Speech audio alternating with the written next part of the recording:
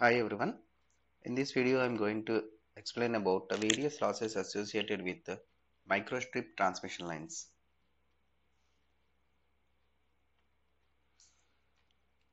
So in the microstrip transmission lines there are generally four different losses that are coming across when we are working without with the microstrip transmission lines. They are First one is the actually losses the attenuation is attenuation is attenuation is attenuation is attenuation due to metal conductivity attenuation due to metal conductivity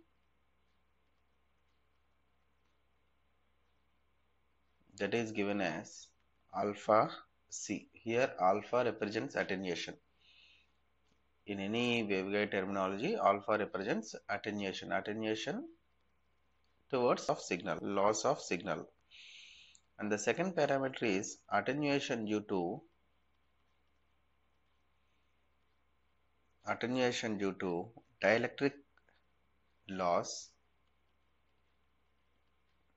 dielectric loss tangent dielectric loss tangent that is represented by alpha d. Dielectric loss tangent dielectric. So d here alpha d. And and and attenuation due to attenuation due to dielectric conductivity. Dielectric conductivity conductivity that is indicated by alpha g. And fourth loss is attenuation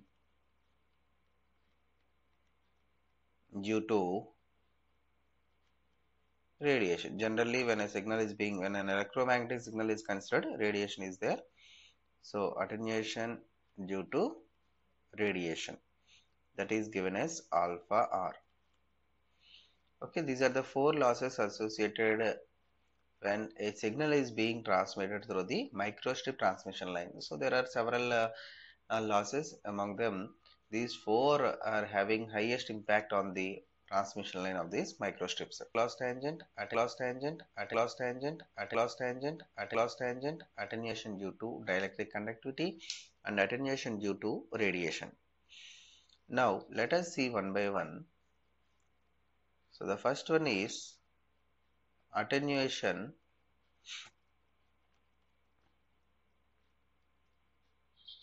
due to metal conductivity. Attenuation due to metal conductivity alpha C. So the metal conductivity or metal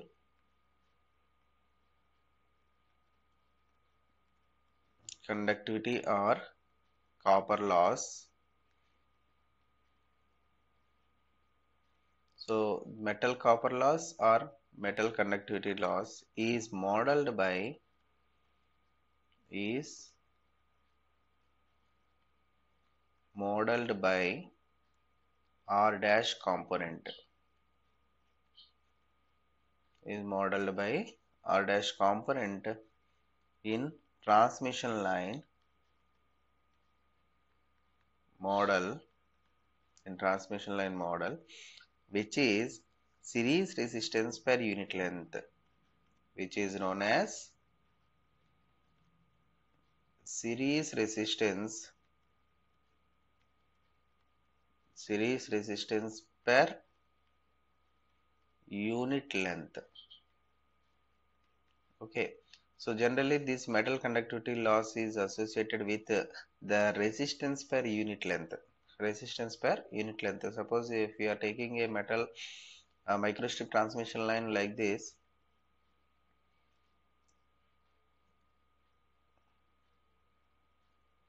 okay so this is the microstrip transmission line where it is having a length of L. Amount of what is the amount of this resistance per this length that is given as R dash component. Okay, so this R dash and the amount of this R dash determines this attenuation due to the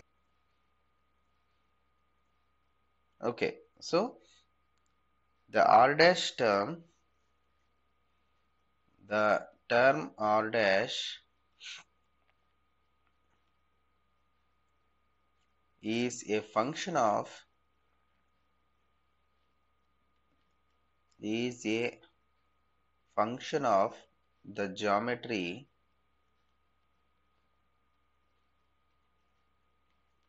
of the transmission line geometry of the transmission line and the sheet resistance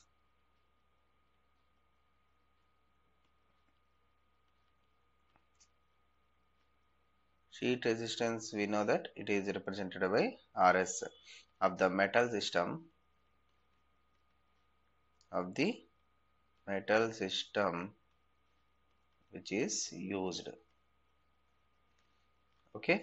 So the term R dash, R dash is nothing but it is a function of geometry of the transmission line and the sheet resistance of the metal that we are using.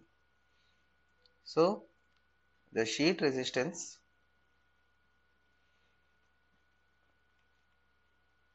sheet resistance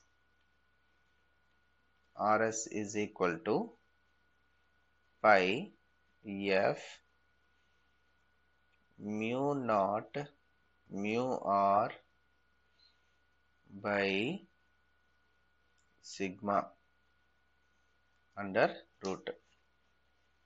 The sheet resistance of this uh, RF sheet resistance, we can call it as a radio frequency sheet resistance because it is we are working at uh, radio frequencies. So we can say it is a radio frequency sheet resistance.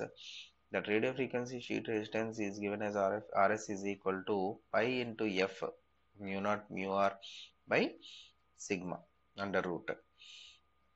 Okay. Now what is our loss? Our loss is attenuation due to metal conductivity. So loss attenuation parameter attenuation parameter in this uh, metal conductivity is alpha C is equal to 8.686 RS divided by Z naught into W decibel per meter decibel per meter see here RS is nothing but sheet resistance, RF sheet resistance and Z0 is the characteristic impedance of this microstrip transmission line and W is nothing but width.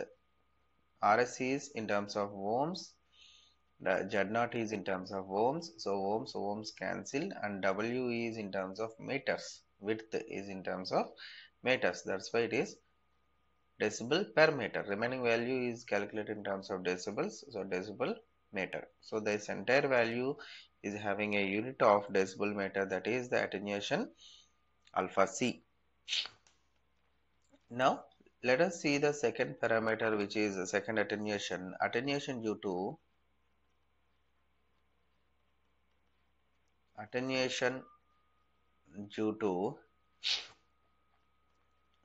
loss tangent due to dielectric loss tangent. dielectric loss tangent indicated by alpha d attenuation due to dielectric loss tangent alpha d. So loss due to loss due to dielectric loss tangent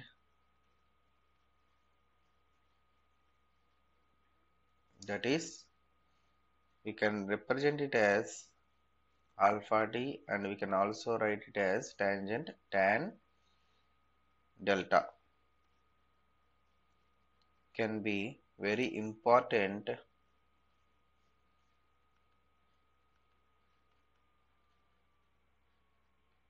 parameter yet microwave frequency. So this term this parameter is having highest influence uh, when we are going for higher frequencies uh, at micro frequencies. So this term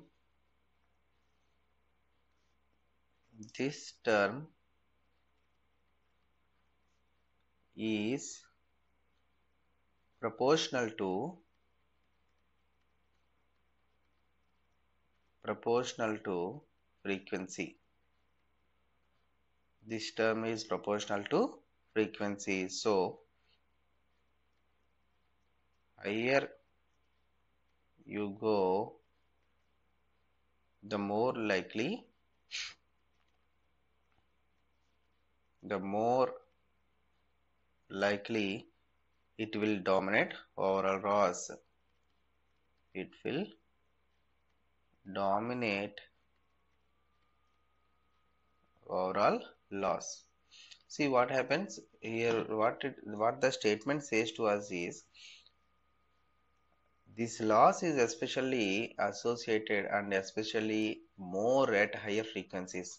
Okay generally when we are going for higher frequencies transmission lines like microwave communication definitely we should uh, study about this dielectric loss so this dielectric loss is having highest impact at higher frequencies. So as the loss as the frequency increases that frequency is proportional to this loss. As the frequency increases the loss also increases. That means when we are going for these higher frequencies the loss dominates the performance of the microstrip transmission line. So the attenuation here the attenuation alpha d is equal to 27.3 epsilon effective effective dielectric constant minus 1 relative dielectric constant relative permittivity epsilon r into tan delta